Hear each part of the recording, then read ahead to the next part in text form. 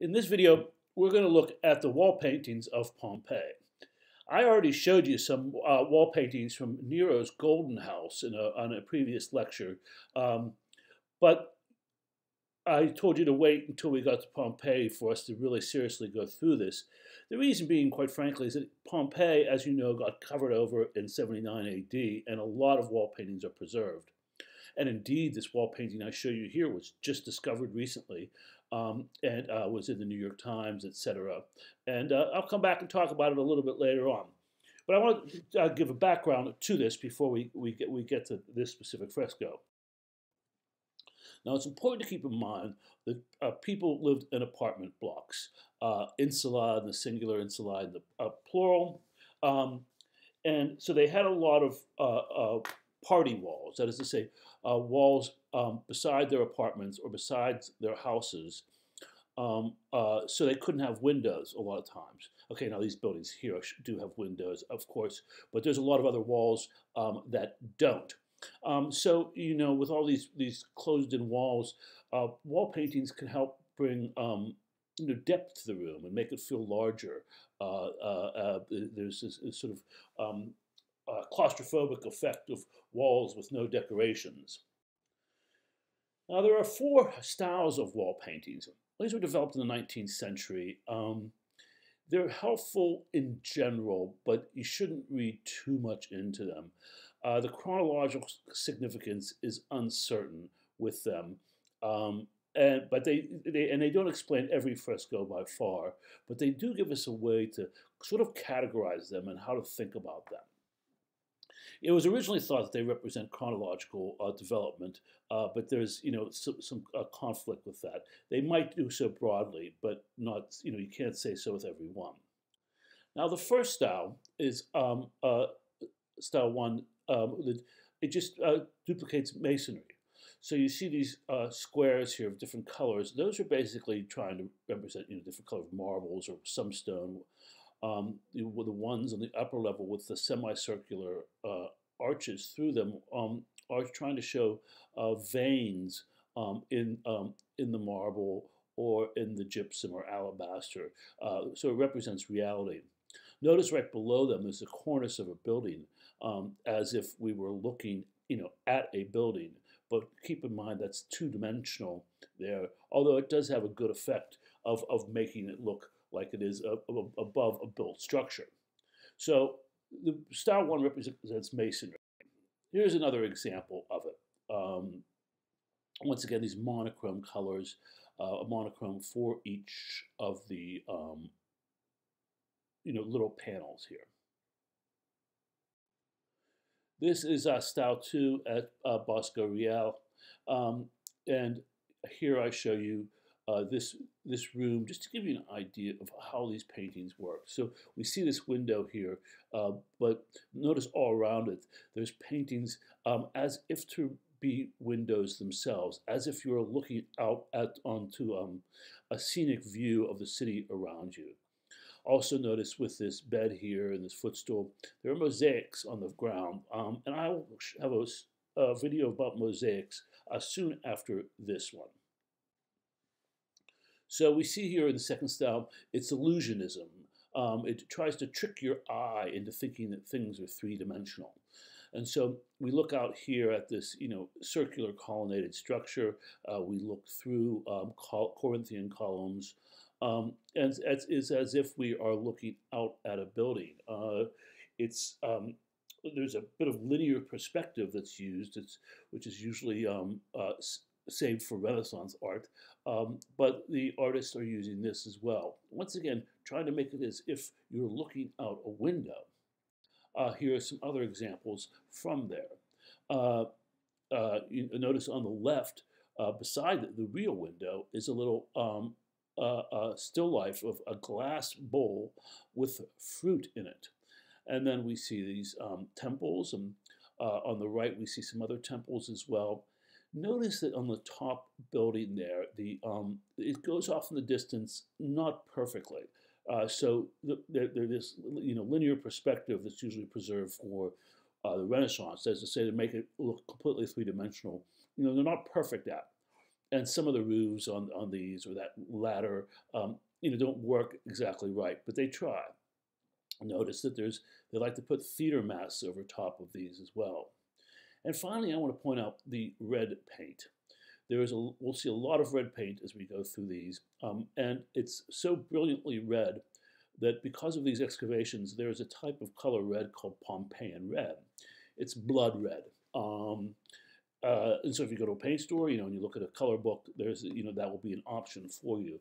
Uh, and this was very popular at Pompeii. Well, I'm going to show you uh, one example um, in the, you know, uh, at, at, the end of this slideshow. Uh, uh, uses a lot of red paint, um, and red was a, a, a, brilliant color. Interestingly, and you know, quite attractive. Interestingly enough, it um, it comes from um, from this little conch animal, um, you know, a mollusk, which has a little organ in it that has this blood red dye. But it takes you know tens of thousands of these conches to make us you know a good amount of dye. I have a friend that actually studies seashells from antiquity, and he has studied some of these rooms and where they make these dye manufacturing places where they make this red dye, and they're just chock a block full, you know, many many feet of deep of just these conch shells. Um, so we'll see that again. Uh, here's another example of um, where the temple goes off into the distance. We see just Doric columns here, the, the, with the little um, uh, theater mask uh, of, of, a tragedy on the left, the peacock standing in front of it. But notice once again that it goes off in the distance fairly well, but not perfectly.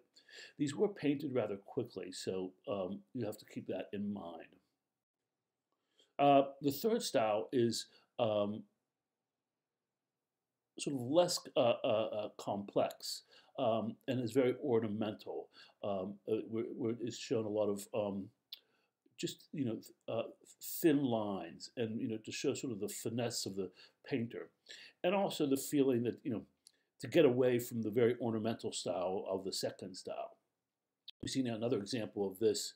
Um, in the Bosco in, in the Bosco Trecase uh, structure here, um, where you see these pencil thin columns coming off a balustrade that is this low knee high wall, um, and then it, these thin, thin, thin columns come up, and then it's solid black, and then in the middle is just a little bucolic scene, usually a scene from um, um, you know somewhere in the woods, etc. And this is the style that we saw being used at Nero's Golden House. Now the fourth style is um, sort of a mixture of styles one and two, uh, which sort of um, you know makes it sort of the garbage bin of you know when, of, of styles when you don't know what else to do. You put it in style four where you can see it's like style 3 with these large monochrome areas, but um, uh, it's a bit more ornamental and larger um, uh, uh, uh, pictures on the inside of these areas and, a, and the return to um, a little bit of architecture. Here's another example from style 4. of this one painted as if you're looking from a stage, which a, with a stage curtain on top, um, and then looking out into the, uh, a series of buildings going back and back and back uh, to show depth. Now, there are a lot of um, uh, uh just genre styles or genre, I should say, subjects um, in these paintings, um, which are harder to put into a style. Some people would say they're uh, style too. In any case, I'm not too concerned about that with these ones. But notice once again the painted uh, fence on the bottom there. That's not a real fence, that's painted onto the bottom as if you were standing on a porch. And we get the story of Venus on a half shell because the goddess Aphrodite in Greek, Venus in Latin, uh, was born from the sea. This is a subject that will be carried on to this very day. Um, and it's done fairly well, although her left leg, or I'm sorry, her right leg comes up behind her left um, in a sort of awkward way. It, it sort of bends to, in a, too rubbery of a fashion. But she, she uh, has this billowing cloak behind her that, goes, that frames her quite well. And she lies uh, as a reclining nude, wearing just a necklace and anklets, and little cupids surrounding her. Um, another one tells the story of a, of, of a scene from uh, the Aeneid, uh, which I talked about uh, with the Augustan period. Uh, there's a story where Aeneas uh, has to be healed by the doctor Iapyx, and this shows it um, as the doctor is working on his leg.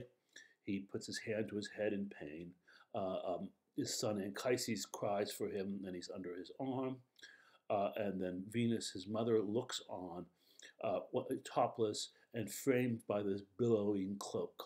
Um, and then some soldiers uh, to the behind and to the right of Aeneas.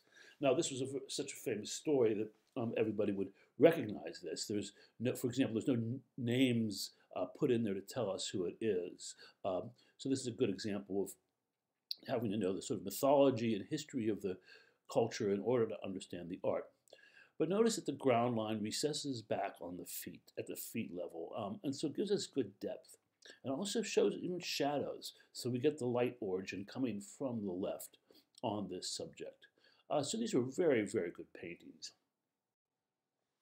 This is an interesting one. It's from the House of the Gladiator, which is called that because it had many gladiator uh, depictions in it. Some houses we know the real name of them, some we don't, and they just get named after the, what's painted in them. There was a gladiator part of, of, of Pompeii, uh, and I'll come back to that when I get back to that first uh, uh fresco I showed you. Uh, and uh, there is a amphitheater there, and this shows a scene um, of we know from historical records of a riot in the amphitheater, and people fighting in the amphitheater and outside of it. Now, in order to show that, we have to be able to look into the amphitheater. So it's the rounded part of it is sort of brought up and awkwardly tilted towards us. Above it is the velum. That's this uh, cloth that covers over the stadium and gives shade to the people because they had to go to the you know to these amphitheaters in the day. They didn't go at night. And then we in the front we see the arcade with two stairwells uh, leading leading up and over it. Once again, the perspective gets a little bit mixed and isn't handled perfectly. But we know of the event this, to which this refers, and that's quite interesting. We get another landscape here. This is the Bay of Naples, um, showing the ports and the harbor and the boats within, um, and the columns around the bay with statues on top of it. And so we get a fairly realistic um, uh, uh, landscape here. And so these are, uh, this is one style that was, uh, you know, these landscapes were one thing that was quite interesting in these Pompeian paintings. Here's another genre style where we get uh, um, people reading uh, or readers. Um, they pose with a stylus to their lips. That is something that would cut into wax that would be put into a triptych or diptych, um, which we talked about with the Uluburun shipwrecks. And I'll show you those in a I'll show you how that works in a moment. But they're holding these uh, things that are equivalent to books, although they didn't have books like we have. Uh, they had these uh, triptychs and diptychs, and then they had scrolls. Um, but notice that they hold the stylus to their lip, which is a style that continues to this day. Um, and uh, on the right side, the man holds a you know a scroll to his chin as well, um, all depicting that you know these people wanted to be shown as learned people, as readers. Uh, you know, they have their portraits done in the way they want, right? I mean, you know, they, they pay the painters to paint what they want, and this is how they wanted themselves to be shown, sort of like Facebook. You know, you choose your pictures, and these people wanted to, to be shown um, in this manner. Uh, it's interesting, the one on the left, you can see on the woman's hair, she has actually a little cap on of, it seems to be gold interlaced wire, um, and, then, um, and then gold earrings. Uh, so she seems to be wealthy as well. Uh, this is how these uh, uh, uh how a triptych would work, where uh, you would um, put put wax inside the recess of the wood and then write a message on it.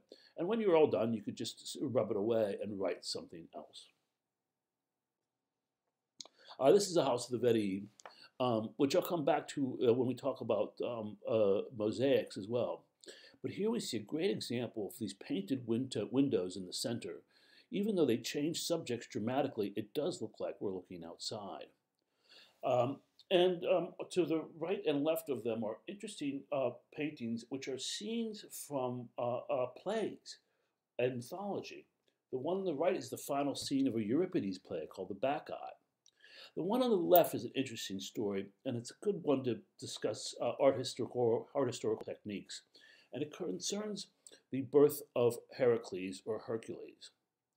Now you can see the as a child, he is in the pretty much in the center of the of the painting here. And he has two serpents wrapping around his arms. Um, there are two people to the right of him. That's his father, Amphitryon. Um, well, it's not his father, he th thinks it is. And then Alcmene, his wife. Uh, and then there's a servant to the left. And you can see the three people around them are frightened and they're gasping. The reason is that um, these, the reason is this. Al, uh, Alcmene was seduced by Zeus, who came in the form of Amphitryon. Um, uh, Zeus was a, a, a, you know a, philanderer, um, and uh, he um, sleeps with Alcmene, and she has uh, Heracles as a child, or Hercules. When Hera, Zeus's wife, finds out about this, she uh, sends two serpents to kill him. But since he's half god, he can kill them himself. Notice Amphitryon is surprised and puts his hands to his chin of why is it that my son can kill these serpents? Um, his wife Alcmene is running away but looking back because the cat's out of the bag. She is going to be busted for you know sleeping with Zeus. Um, and so this is the precise moment where this happens. Um, and notice behind Heracles is a little altar there that has a Roman eagle. And then behind that is a window looking out onto a temple. But this is all painting. And so we get the first story, the first level right in front of us, and then this window puts a background to it. Um, and it's a really good example of, of how to you know in, interpret these um, pieces of art. Notice that the servant and Amphitryon, their staffs point at Heracles, so making you look at him. And the eyes of his father and mother look at him. So it draws our eyes to the center of this painting. Uh, and uh, if you know the mythology, uh, you understand the story. Uh, there's also nice depth done here with Amphitryon's left foot coming off the footstool here, leaning forward, surprised that his son is killing these serpents. So that's a fun painting. Now we'll go to a, a, a, a very famous painting in this building called the Villa of the Mysteries. Uh, once again, this is painted because of the uh, painting in it. Now, th it's not uh, a, a, building like we saw before. This is a villa out in the country, a very large estate. Here's the plan of it for very rich people. And this is the very famous painting inside of it, probably the most famous painting from the site.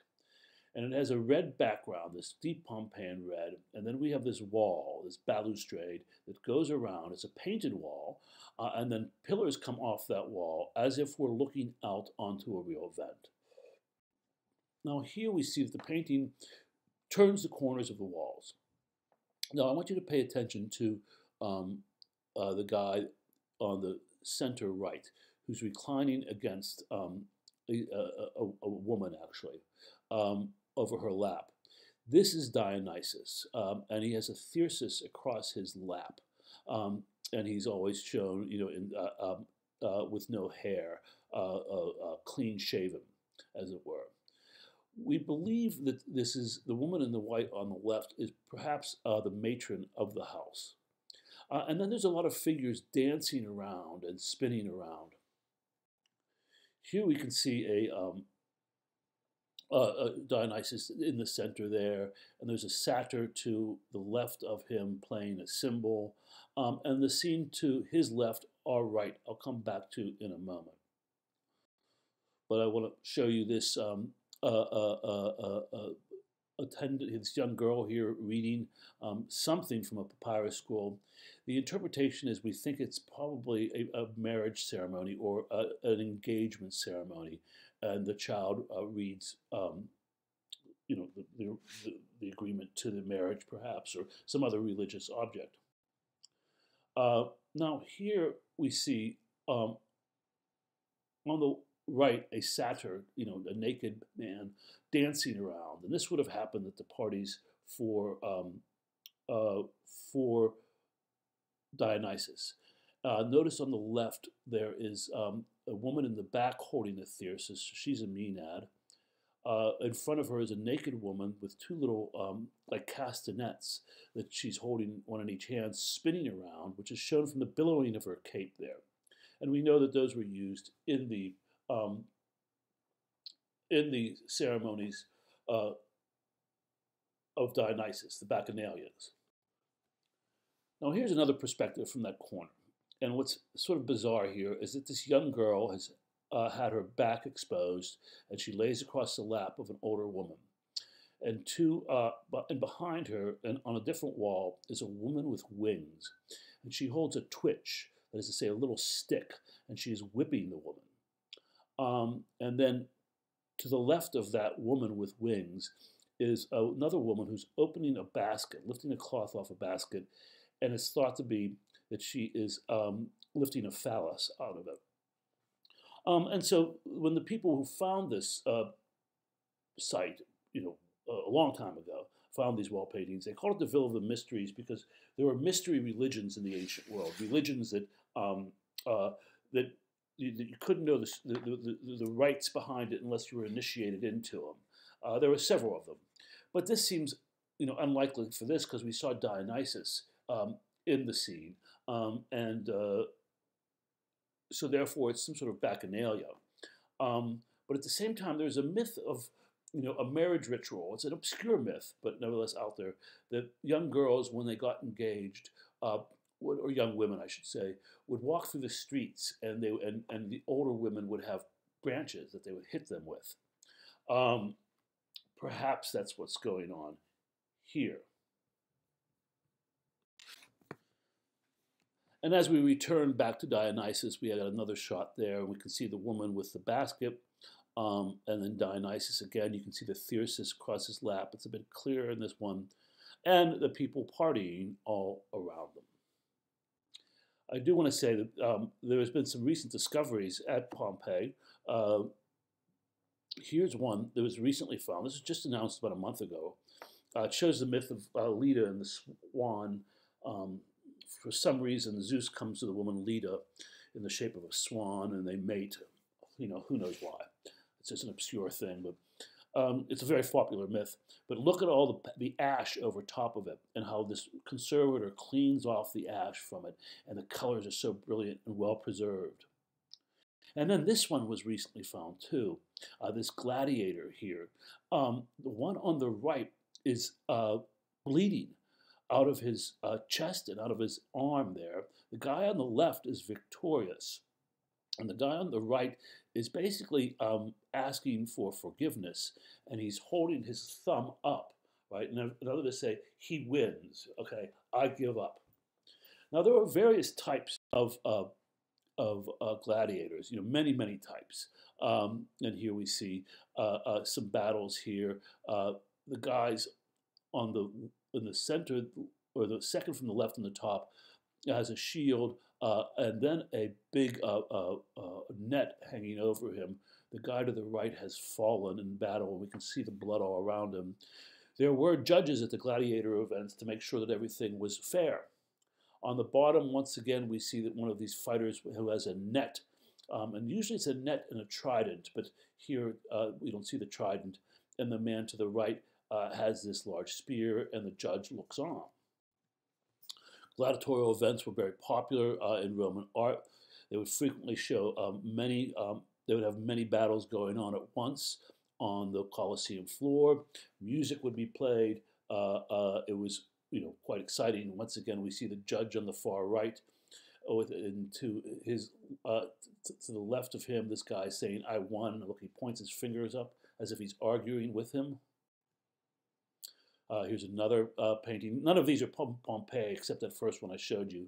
Um, this is a bit later, but um, it shows these men fighting. One man has even fallen, or a couple guys have fallen, and there uh, one's laying on his shield to the left. Uh, the one on the right is about to be killed, as we can see.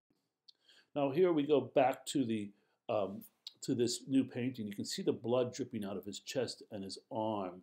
And so they're still making spectacular finds at Pompeii. Uh, and these are some interesting ones. Uh, um, uh, and there's more to dig there. We'll, uh, we'll keep on learning. Okay, in the next uh, video, I'll talk about the mosaics that have been found uh, at Pompeii and elsewhere.